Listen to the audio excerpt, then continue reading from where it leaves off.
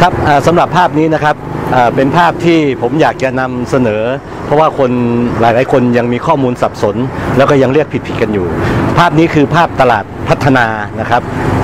ดั้งเดิมเลย คือบริเวณถนนเทศบาลพัฒนาตัดกับถนนประชาสิทธิ์นะครับ ตามภาพนี้จะเป็นตัวตลาดแล้วก็มีที่โล่งนะครับ แล้วก็มีท่าจอดรถสองแถวสาย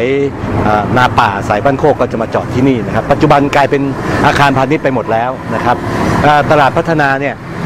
จะจะตั้งอยู่ที่นี่นะครับ แต่ทุกวันนี้คนไปเข้าใจผิดว่าตลาดเทศบาล3ที่เลยออกไปนั้นเป็นตลาดพัฒนา แต่จริงๆตรงนั้นเนี่ยนะครับเขาเรียกว่าสี่แยกโรงลิเกนะครับซึ่งเป็นที่โล่งแล้วก็มีโรงลิเกเก่ากัน แต่หลังจากที่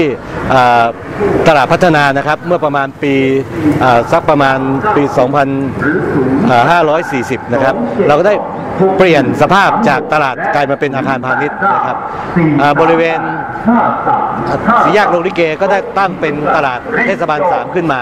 นะครับ แต่คนก็ยังเข้าใจผิดกันอยู่ อีกประการหนึ่งที่อยากจะให้ข้อมูลเพิ่มเติมสำหรับภาพนี้ก็คือว่าเลยออกไปจากตลาดพัฒนาเนี่ยจะมีคลองคลองหนึ่งนะครับ ซึ่งเป็นคลองขนาดเล็กอ่าซึ่งเห็นกำลังทำอ่าเป็นสะพานไม้ข้ามคลองนั้นอยู่คลองนี้เรียกว่า คลองกระเซี่ยวนะครับ ซึ่งเป็นคลองที่ลำเลียงน้ำจากคลองสารา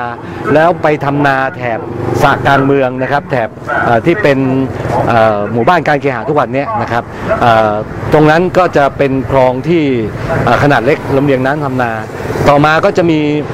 บ้านคนตีมีดนะครับมาตั้งอยู่ที่ริมคลองแห่งนี้ ก็เลยเรียกว่าคลองตีมีดนะครับ ก็จะเห็นว่าตอนนั้นก็มีสะพานกำลังสร้างอยู่นะครับ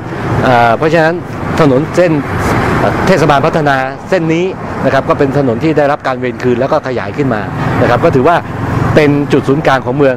อแห่งใหม่ล่าสุดนะครับจากตลาดเทศบาลหนึ่งที่เป็นความเจริญของเมืองขยับขยายมาที่ถนนเส้นนี้ครับ